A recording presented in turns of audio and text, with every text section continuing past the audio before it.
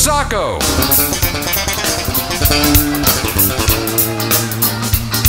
Oh, yeah.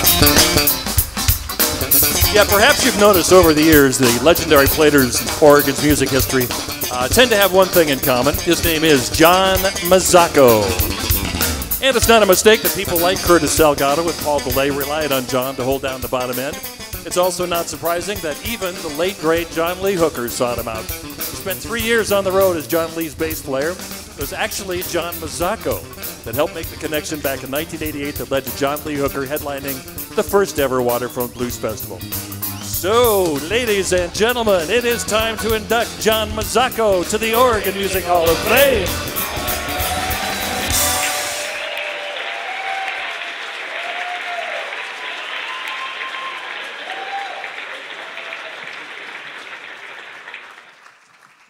Thank you, Tony. If I ever jump around like that, somebody shoot me from the audience, would you please? Because I know I'm much cooler looking than that. You guys are wonderful to be here tonight. Thank you so much for joining us. I want to thank OMHOF and the board for the honor. I want to thank my brother Mark, who's over there. Let's give my brother Mark a big round of applause. And my dad. I played my first gig here in Portland when I was eight years old uh, with a guy named George Mitchell Spedich. And George is a piano player here in Portland who, uh, for the past 35 years, has been Diana Ross's keyboard player. And he still lives here and he should get in here. That's my one thing I want to tell you. Okay, I always wanted to be a better bassist, a complete bassist.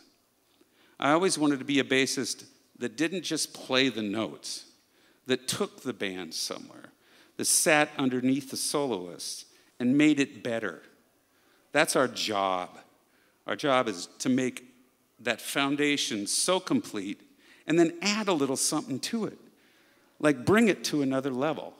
So when we get to that third chorus, we don't fall apart, right? We fall in line, right? So that's one of the things I always wanted to do. So, and I would ask all of us that are my age, a certain age here, as you can tell by my age, I had a lot of hair when I was younger, but it's gone now. Um, I would ask all of us here to support the mission here at OMHOF. I don't know if you can, uh, I, know, I don't know about you guys, I can't take it with me. I can't take any of this stuff with me. So I'm going to leave some of it to them. Um, I would rather help out the next players and help a kid. I'm full of gratitude. It's amazing. I'm, I'm incredibly grateful to all the people that helped me get here. It wasn't just, you know, there was a lot of guys that went, you know, Jim Pepper, man. Jim Pepper growling at me from on stage this far. He was a huge man. He was like six four, and he would be this far from my head, and I'm playing along, and we're doing some jazz tune at the speed of God, and he's going,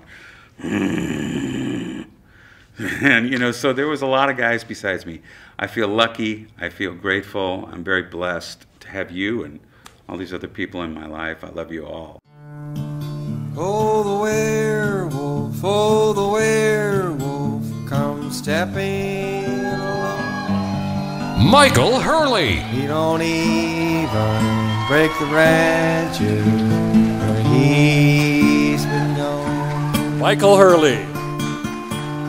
Born in Pennsylvania, Michael grew up with Jesse Colin Young and was friends with the Holy Modal Rounders, and like the Rounders, decided to put down some roots right here in Oregon released his debut album back in 1963. Recorded on the same reel to reel tape recorder used to capture Lead Belly's last sessions. And over the last five decades, he's released 32 albums driven by what he terms a compulsion to create. His latest CD, Living Ljubljana, was released just last year. His friends call him Good Old Doc Snock, so please join us in welcoming Michael Hurley to the Oregon Music Hall of Fame.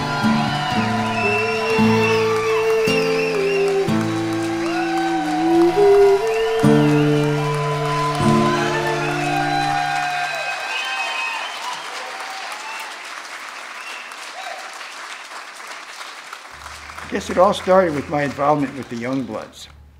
In California, they had that hit record, Get Together.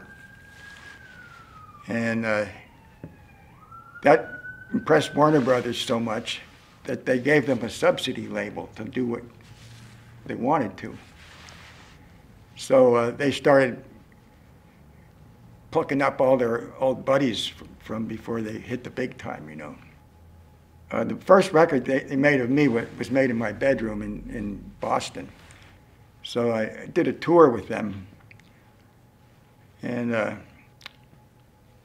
that's why I got to see Seattle and uh, uh, San Francisco and uh, Portland.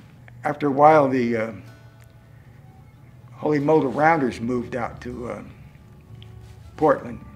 Guess they were playing in Portland for a long time and they kind of settled down and separated out and stuff.